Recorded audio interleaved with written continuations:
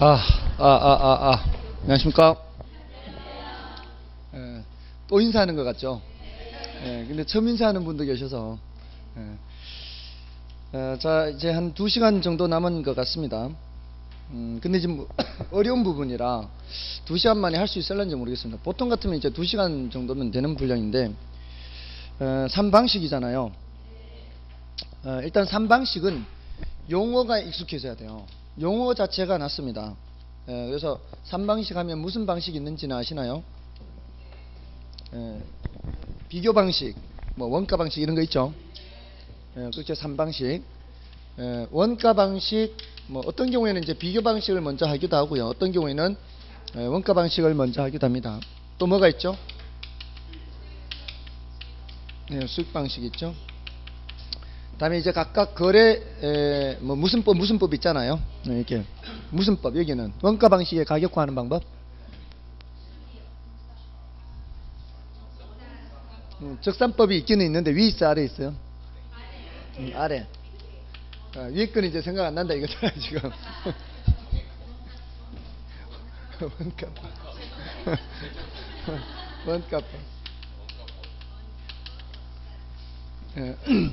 예, 이 용어 자체가 지금 안 돼 있는 상태니까 안을 하- 안을 들어가기가 굉장히 쉽지 않죠. 그러니까 이 용어가 익숙해져 있어야 돼요.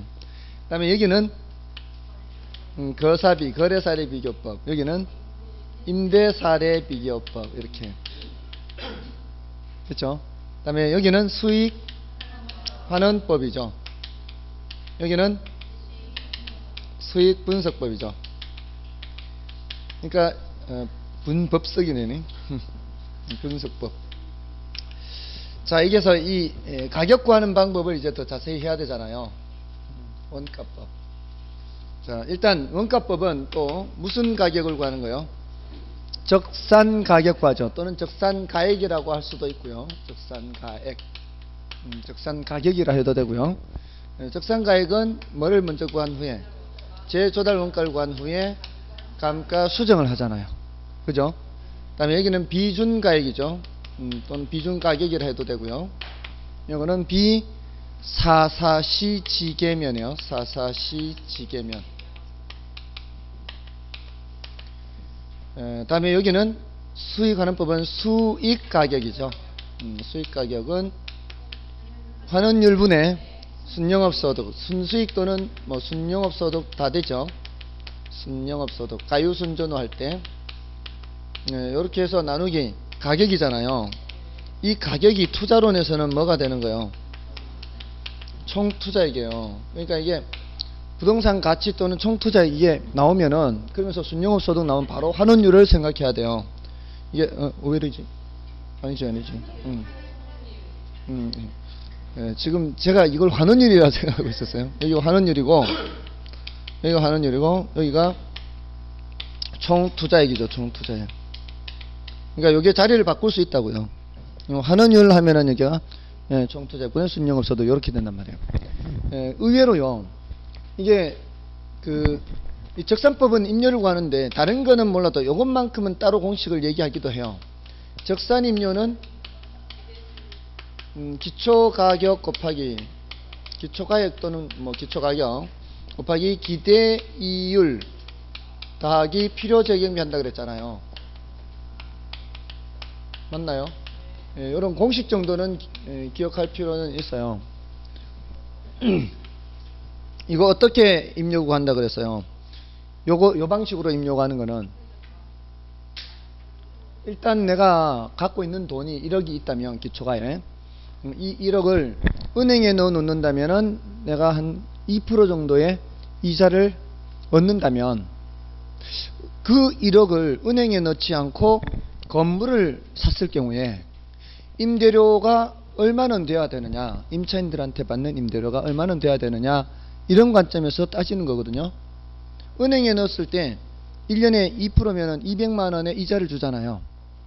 그럼 내가 건물을 사게 되면은 그 건물 임대료 받는 것에서 은행에 넣어놨을 때와는 달리 발생하는 경비가 더 추가되어야 그거 다 경비 제하고도 내가 손에 남는 게 있을 거 아닌가요? 은행에 넣어 놓으면은 청소 같은 거 안 해줘도 되잖아요. 그냥 그것도 원금 1억 넣어 놓으면은 근데 건물 사게 되면은 청소도 해줘야 되죠. 뭐 화재 보험에도 가입해야 되죠. 이런 것이 거기에 다 포함되어 있어야 되지 않나요? 그렇잖아요. 그러니까 그런 것이 이제 에, 경비거든요. 경비. 그리고 내가 은행에 1억을 내놓으면 원금이 유지가 되잖아요. 원금이 유지가 되잖아요. 그 은행이 망하지 않는다며야. 근데 건물을 사게 되면은 건물은 자꾸 낡아 어, 감가가 되잖아요. 그럼 그 건물 낡아지는 만큼도 임차인들한테 받아 내 놔야 되지 않나요? 그런 걸 다 감안해서 받는 게 이제 더하는 거 여기에 더하는 거. 요거는 뭐예요? 기초가액에다가 기대율 하고 정기예금 금리가 기초가 된다 그랬어요. 이게. 요거는 내가 최소한 확보해야 되는 금액을 말하는 거예요. 이제 들은 것 같아요, 잠깐. 아, 들은 것 같지는 않아요. 어. 아, 요거는 말씀 안 드렸었나?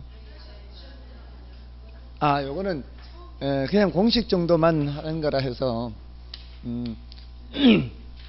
그래서 요거는 공식 정도예요, 공식 정도. 그러니까 같은 1억이라 해도요.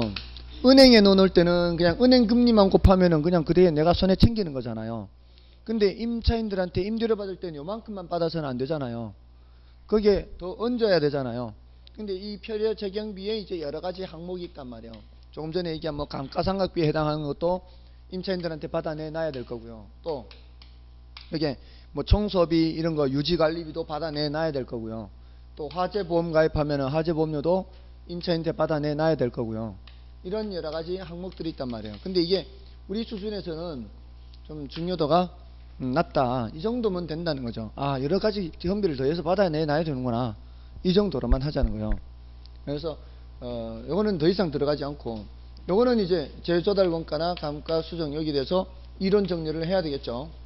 그다음에 얘네들도 이제 각각 예, 이론 정리를 해야 되겠죠. 예, 그다음에 여기에서는 예, 환원율에 대해서 자세히 하는 겁니다. 근데 이론적으로 깊게 들어가는 문제는 문제는 많지가 않아요. 예, 이제 분, 문제 분석을 해볼게요. 자, 문제 분석을 하면 일단 예, 예, 먼저 뭐를 보시는가 하면은 원가법을 먼저 볼게요. 415쪽에 보세요.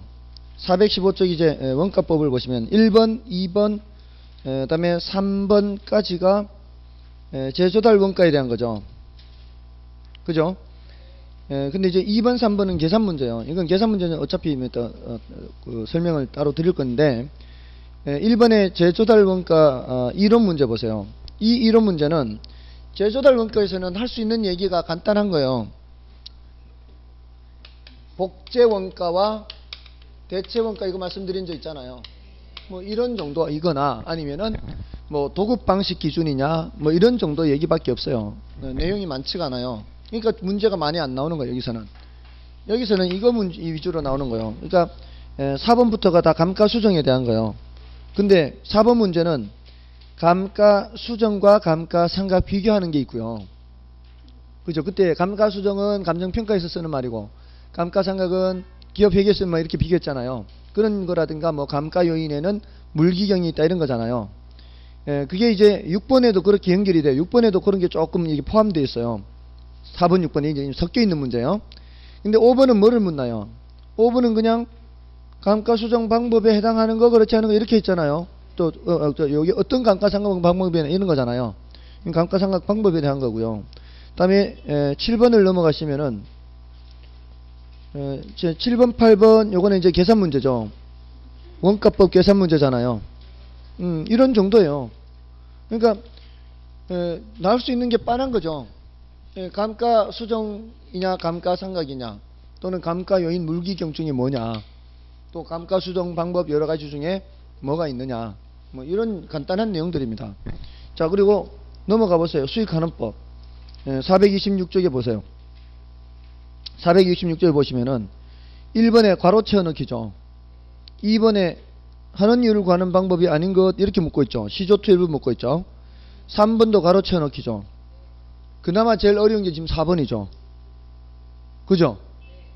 제일 어려운 게 4번이잖아요. 이런 문제. 예, 이런 거 나오면 제끼면 되는 거죠. 그리고 넘어가 보세요.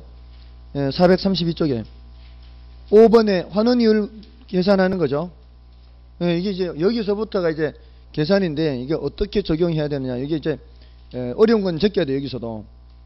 여기서 어려운 건 제끼면 돼요. 쉬운 것만 풀면 된다고요. 아시겠어요? 그러니까 출제되는 게 어렵다 해봐야 이 환원율의 이런 문제, 이런 문제. 그런 거는 제껴버리면 되니까. 간단한 것도 많거든요. 지금 여기 최근 10년간만 수록해놨잖아요. 근데 그 앞에 더 지나간 것들도 주로 이런 뭐 간단 간단하게 괄호 채워넣기라는 이런 쉬운 것만 물었지 어려운 거 묻는 거는 10번 출제하면 10번 물으면 한 두 번 정도만 어려운 거지 그렇게 예, 어렵게 많이 나오진 않아요. 물론 계산 문제는 어려워요. 수익하는 법이 제일 어려운 게 계산 문제가 어려워요. 근데 어차피 계산 문제는 그렇게 목숨 거는 거 아니잖아요. 그러니까 예, 자 이렇게 이제 분석을 하시고 그럼 앞에 거래사례 비교법은 어떤가요? 거래사례 비교법은 자 404쪽이에요. 예, 404쪽에 보시면 거래사례 비교법에 관한 설명 중 틀린 것은 이렇게 하고 있죠. 그리고 2번은 부동산 감정 평가에 관한 설명 중 틀린 2번은 좀 예, 중복되어 있는 거예요. 여러 가지가 섞여 있는 거예요. 그리고 3번은 이제 어, 그 순서 물은 거고요. 그 수정 작업하는 거. 예, 이거는 그냥 비사사시지계면 이런 걸 알면 되는데 예, 그거보다 조금 더 뭔가를 알고 있어야 되는 게 있긴 해요. 또 넘어가 보세요. 410쪽에 사정보정치 계산하는 것이고요. 4번. 그다음에 5번, 6번. 이거 지역 요인 비교치나 뭐 개별 요인 비교치 계산하는 거잖아요.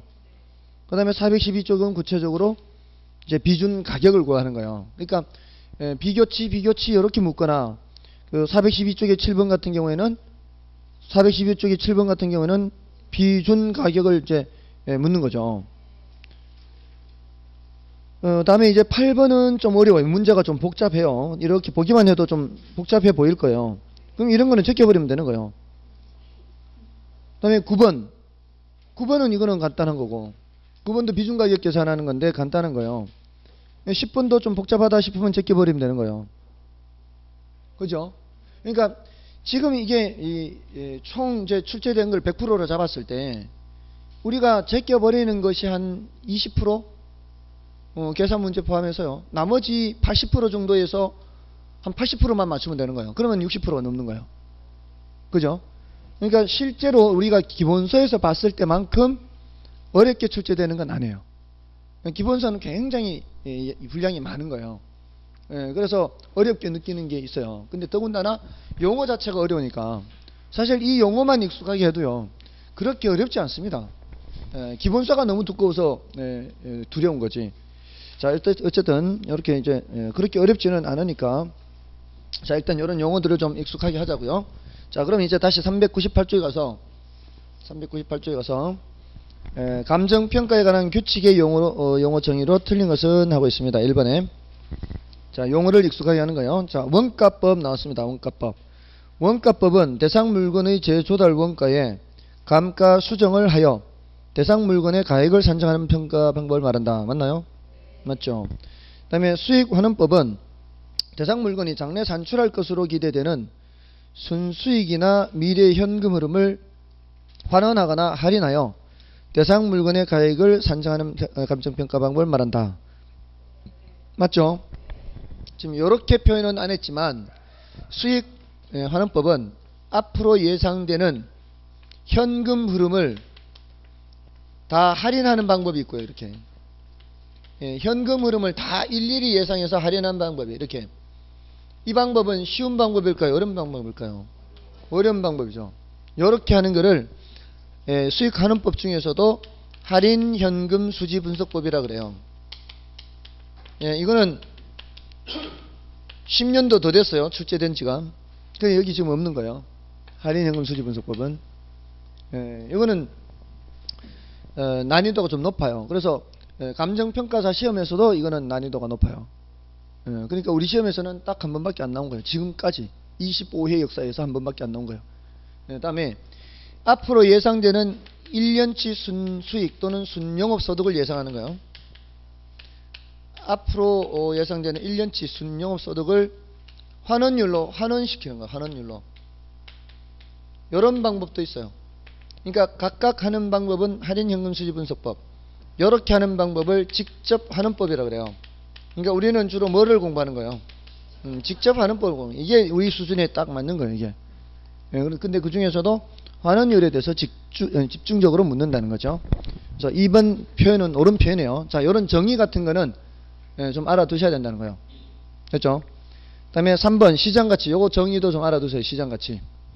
제가 시장가치 설명드릴 때 민법 개념을 말씀드렸어요. 시장가치 말씀드릴 때 민법에 의사와 표시의 불일치, 하자 있는 의사 표시 이런 말씀 드린 적 있을 거예요. 그죠? 예, 그 시장 가치는 하면서 있죠. 토지 등이 통상적인 시장에서 그렇죠. 예, 일반적인 시장이에요 말- 말이에요. 그리고 충분한 기간 거래를 위하여 공개된 후 돼 있죠. 이게 충분한 기간이 오해하지 마시라 그랬죠. 장기간이다 장기간이 아니다. 장기간이 아니에요. 예, 적당한 기간을 말합니다. 그리고 적당한 기간 동안 공개된 후 그 물건의 내용에 정통한 당사자 이렇게죠. 그 정통한 당사자가 뭐라 말이에요? 문외한이 아니란 얘기죠. 예, 그래서 그 어, 어, 그리고 산, 신중하고 자발적인 거래죠. 신중하고 자발적인 거래가 뭐 이게 그, 예, 예, 하자 있는 의사 표시도 아니고 예, 의사와 표시에 불일치가 있는 것도 아니고 예, 또그 예, 정통한 당사자 사 이게 잘 아는 사람이라는 얘기죠. 이게 성립될 가능성이 가장 높다고 인정되는 대상 물건의 가액 예, 시장 가치 맞고요. 그 다음에 적산법 나오네요. 적산법은 기준 시점에 있어서 대상 물건의 가액을 기대 이율로 곱하여 산정한 금액에 사정 보정 등을 가하여 임료를 산정하는 방법을 말한다. 이게 지금 아까 적기기 필했죠 이거. 이 공식 정도는 알아두고 어떤 원리 정도만 알아두자는 거예요. 사정 보정이라는 말은 어디서 나오는 말이에요? 여기서 나오는 말이에요. 여기서. 그잖아요. 그러니까 질문하는 수준이 탁 진짜 초등학생 수준이죠. 근데 그런 문제를 못 맞추죠. 맞잖아요. 이게 질문을 한참 기- 기초가액 곱하기 기대율에 사정 보정한다는 게 말이 안 되잖아요. 저기. 근데 그런 걸 못 맞추니까. 그참 희한하죠. 보면 간단한데 이렇게 보면 왜 이렇게 이렇게 보면 안 될까 이게. 그죠? 음. 근데요, 처음이라 그래, 처음이라. 음. 예, 그렇다고 해서, 어, 내년에 또 하면 안 되잖아요. 그또 하라는 얘기가 아니고, 이제 이 공부, 이- 이런, 이런 과목을 접하는 게 처음이니까 어떻게 하라고요? 자꾸 반복하라고요. 반복밖에 없습니다, 이거는, 여기는. 예, 어렵지 않으니까. 용어가, 용어가 났으니까. 자, 어쨌든, 거래사례 비교법은 대상 물건과 가치 형성 요인이 같거나 비슷한. 가치 형성 요인이 뭐예요? 일지계죠, 일지계. 이게 지역 요인, 개별 요인 있잖아, 이거 일지계 할 때. 특히 지역 요인과 개별 요인 중요하다 그랬잖아요. 일지계 중에서도. 그 가치 형성 요인이 같거나 비슷한 물건의 거래 사례 비교하여 대상 물건의 현황에 맞게 사시 지계죠. 사시 가치 형성 요인이 지계니까 사시 지계 등의 과정을 비- 비교 등의 과정을 예, 대상 물건의 가액을 산정하는 감정 평가 방법을 말한다. 됐죠? 예, 그러니까 이렇게 보세요. 이제 가치 형성 요인 하니까 일찍이 나오잖아요. 이게 학습의 효과죠, 이제. 가치 발생 요인 하면은 유상유 나오고 그게 이제 된 거죠, 이게. 그렇게 되면은 이게 어느 정도 이게 전체 과정이 쭉 이렇게 스크린이 될 수 있어요. 그러면은 어떤 문제가 나오더라도 아, 이게 어떤 파트 문제구나. 이게 어떤 파트 문제구나 나와요. 답이 나온다고. 근데 딱 봤는데 어, 한 번도 본 적이 없어. 그럼 바로 제끼는 거예요, 그러면은. 그죠?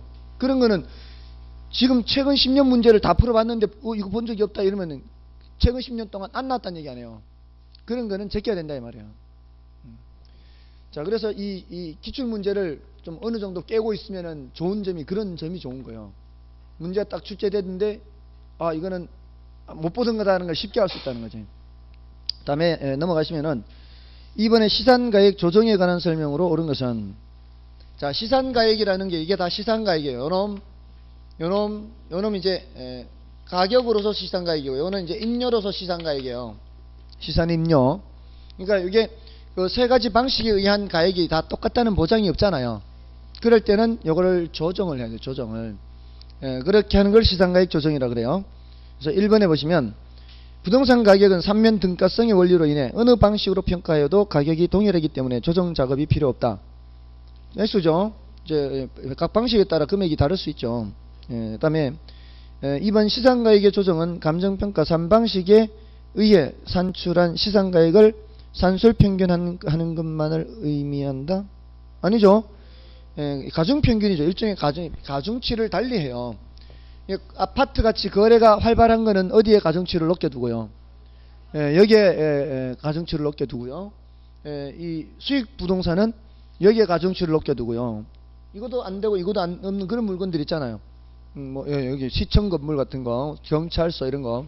근데 시청도 이런 시청은 이거는 일반 사무실용으로도 쓸 수 있죠.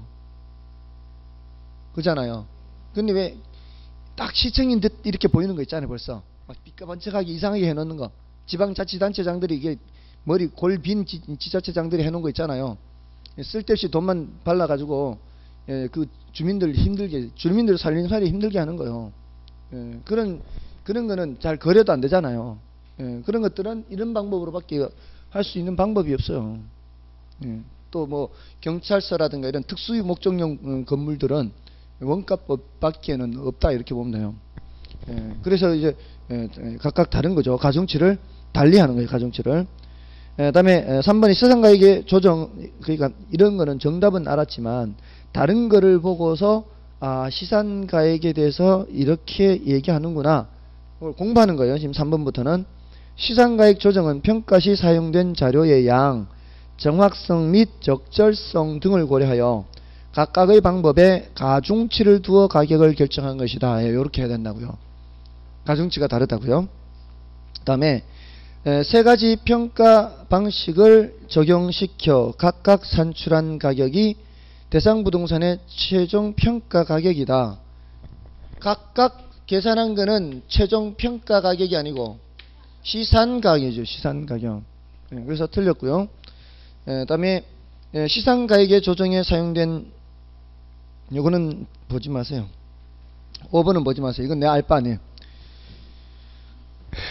그러니까 여러분들이 이제 그 이런 거를 이제 저하고 같이 보면은 제가 걸러 드리잖아요.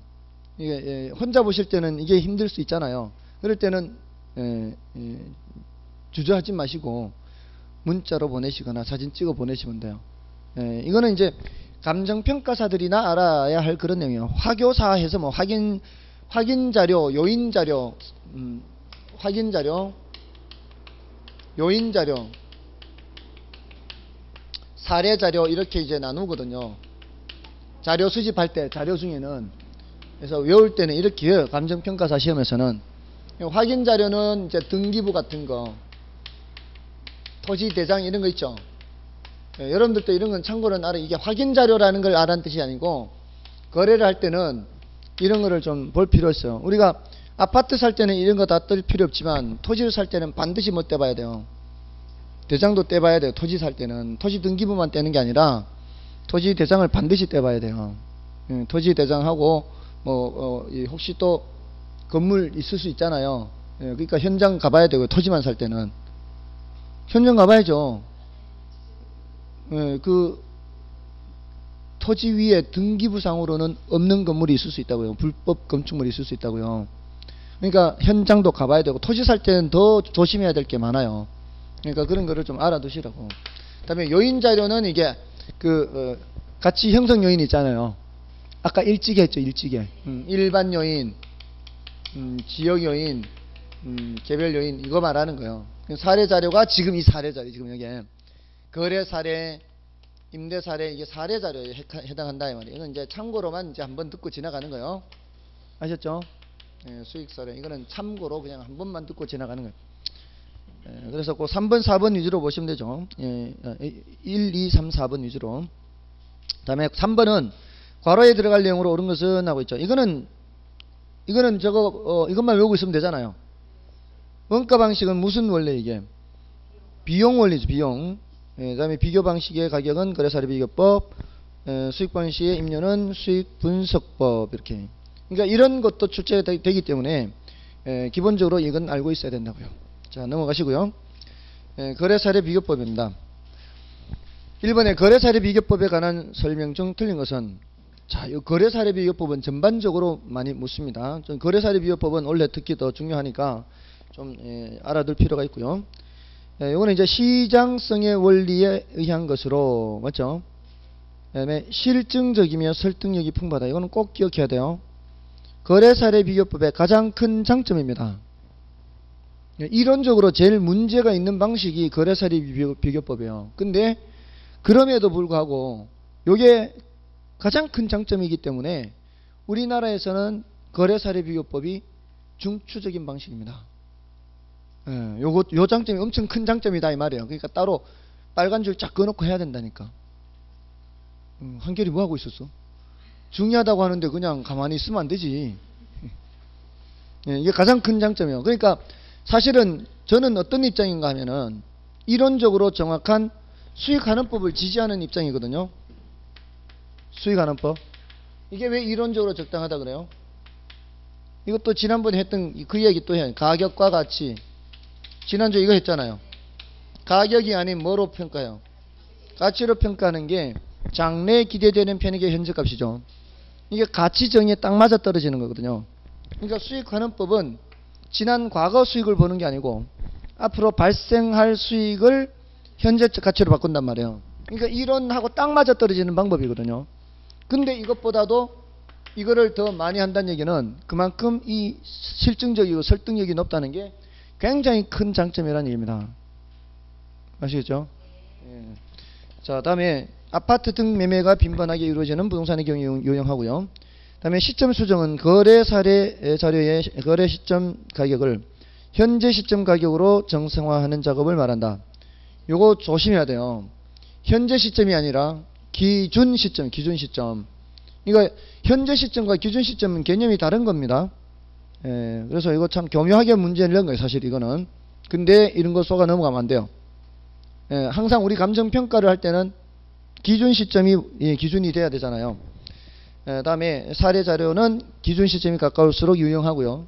예, 이건 이제 예, 시간의 유사성이죠.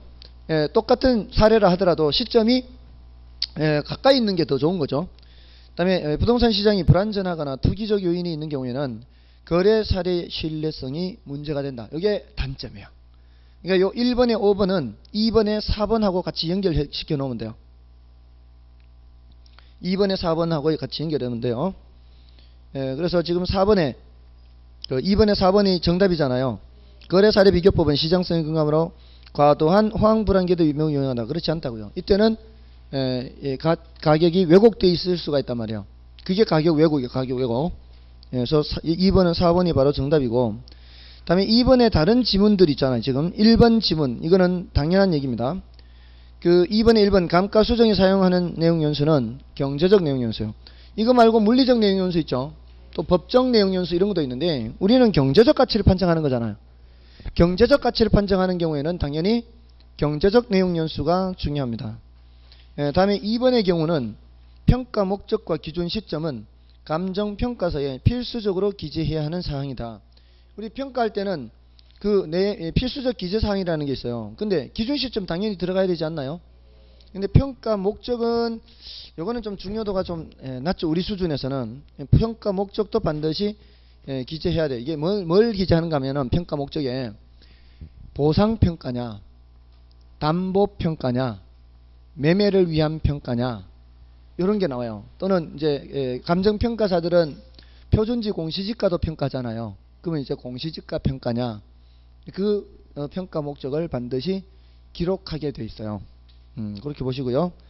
에, 다음에 3번은 어렵지 않죠. 에, 개별 분석은 개별 분석 체의 판정됐고요. 다음에 5번 주의하시고요.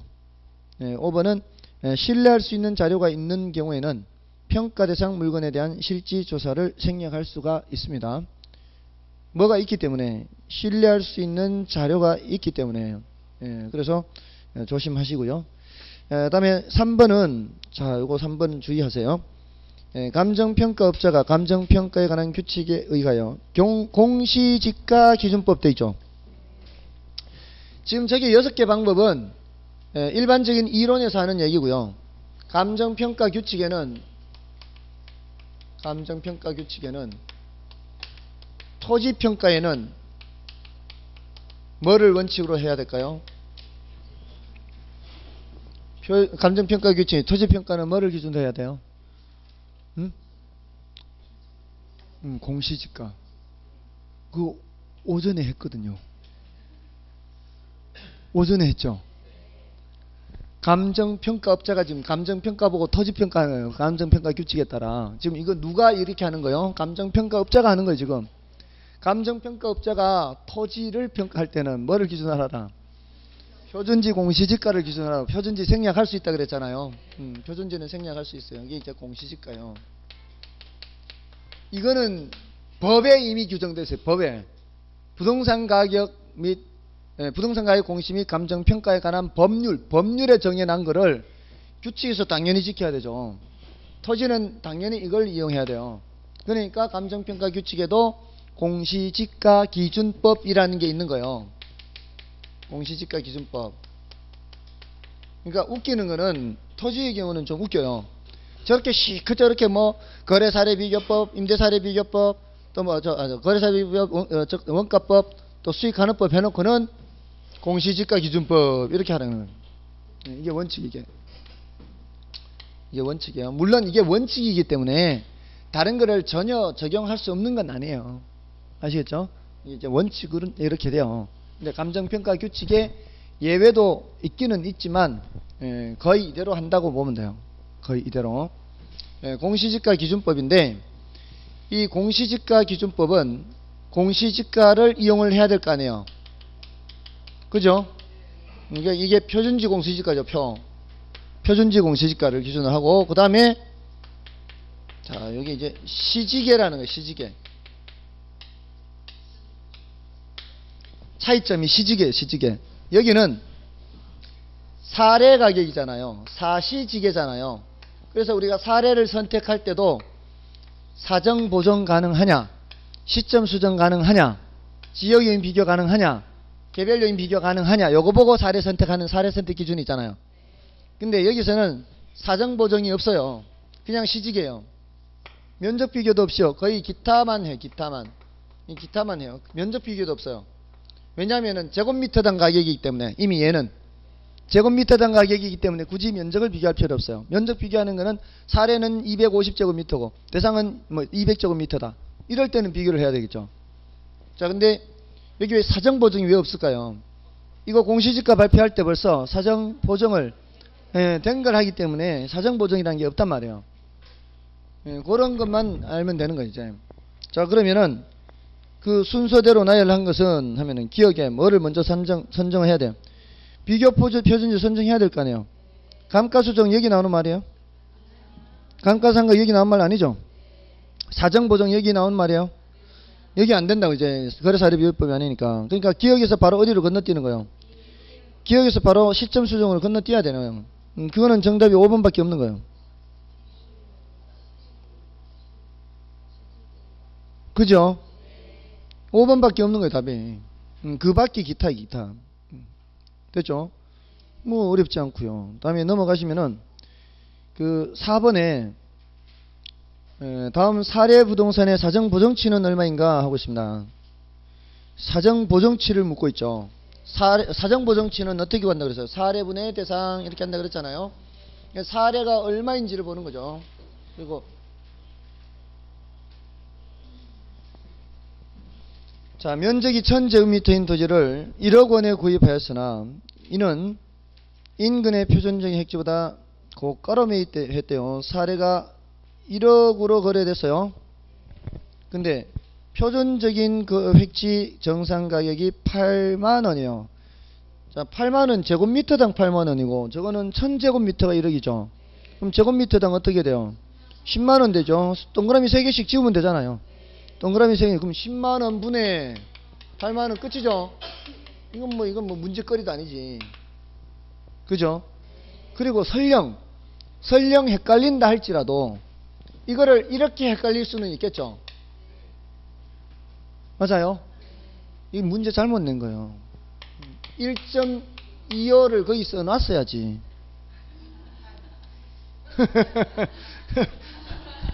1.25를 써놨어요. 헷갈릴 거 아니에요. 0.8을 할까 1.25를 할까 헷갈릴 거 아니에요.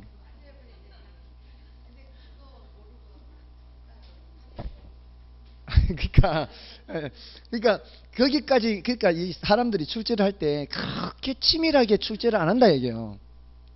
우리 지금까지 기출 문제들을 보면은 그렇게까지 치밀하게 문제를 안 내요. 예, 그러니까 그좀 예, 쉽다 이 말이에요. 이제 5번하고 자 5번은 지역 요인 비교 치만 묻는 거고요. 에, 저기 9번을 가시면은 에, 그 이제 에, 토지 가격을 구하는 건데 그 표가 주어진 거는 똑같아요. 그죠? 근데 5번에는 격차 내역만 준 거고요. 9번은 비교하는 것까지 알려준 거죠. 예, 근데 이제 5번이 더 간편한 방법이에요. 예, 9번이 좀 더 복잡한 방법. 9번처럼 하는 거는 사실 더 복잡, 쓸데없죠. 왜냐면은 표준지는 다 100, 100, 100, 100 써놔버렸잖아요. 같은 걸 굳이 쓸 필요가 없는 거예요. 근데 그 오른쪽이 예, 하나는 제일 위에 80, 100, 110 이렇게 되죠. 80, 100, 음, 110 이렇게 있는데 자 이거를 5번처럼 한다면 어떻게 되는 5번처럼 한다면은 5번처럼 한다면 격차 내역만 쓴다면 여기가 어떻게 되는 거예요? 그렇죠. 얘가 마이너스 20 되는 거고 여기는 0이고 여기가 플러스 10 0, 0 이렇게 되는 거죠. 예, 이렇게 한 것은 5번이고 아셨죠? 자 그러니까 이런 경우에 이제 사례분의 대상 대상 여기 있잖아요. 이게 이게 이게 사례가 되는 거죠. 이걸 기준으로 하니까 그럼 이때는 100분의 80 되잖아요. 이때는 1이고요. 이때는 100분의 110이니까 1.1이죠. 그와 같은 방식으로 이제 격차 내역이 하나는 플러스 2, 하나는 마이너스 3, 5번에 어, 마이너스 2 플러스 3 이렇게 다음에 마이너스 1 플러스 4 이 격차 내용만 쓴다면은 이게 이제 2% 빼, 빠진다는 얘기잖아요. 2% 빠지니까 0.98이라는 얘기고 이거는 3% 올라간다니까 이거는 0.99 요거는 1.04 이렇게 돼요. 이거 곱하라는 얘기야, 이거. 이거 다 곱하는 게 상승식이라 그래요. 서로 곱한다, 서로 곱한다. 상승식. 그렇게 해서 5번에 지역 요인 비교치를 묻고 있잖아요. 그러니까 이것 때문에 계산기가 있어야 돼요. 이것 때문에. 근데요, 이게 대충 알려드릴게요. 자, 왜 이제 이런 걸 자꾸 알려드리는가 하면은 첫째, 제가 여러분들을 사랑하기 때문이고 둘째, 급할 때는 계산기 두드릴 시간이 없어요. 급할 때는 시간이 모자라면 계산 문제 풀 수 없잖아요. 이것만 다 보는 거예요. 이것만. 플러스 마이너스 해보세요. 플러스 4인가요? 그러면 은 1.04죠. 이 숫자는 절대로 1.04를 넘을 수가 없어요. 곱하면. 1.04보다 반드시 작은 수만 선택을 해야 돼요. 아셨어요? 근데 대처럼 멀리 떨어지진 않아요. 근데 애석하게도 여기 1.04보다 위가 없죠. 다 1. 이거 계산하면 1.039가 나와요. 1.039. 자, 이거 원리를 알려드릴게요. 이거 이런 걸 알면은 자, 예를 들어 또 격차 내역이 예, 플러스 3, 마이너스 5, 플러스 6, 마이너스 4다. 어, 자, 이러면은 이게, 아니, 이러면은, 제로죠. 그럼 제로면 1이란 얘기, 1. 100%를 기준으로 하면, 그러면 1보다는 작게 나온다고요. 그러니까 1보다는 작다는 얘기 0.99가 나오거나 0.98 이렇게 나온다는 얘기예요. 두 개가 다 나오면은 이제 헷갈리는 거죠. 일, 단 1점, 1점 몇이 나올 수도 있잖아요. 예, 그러면은 그는 제끼는 거예요.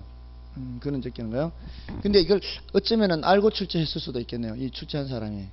절대로 이 숫자보다는 더 클 수가 없다는 걸 알고 출제한 거예요.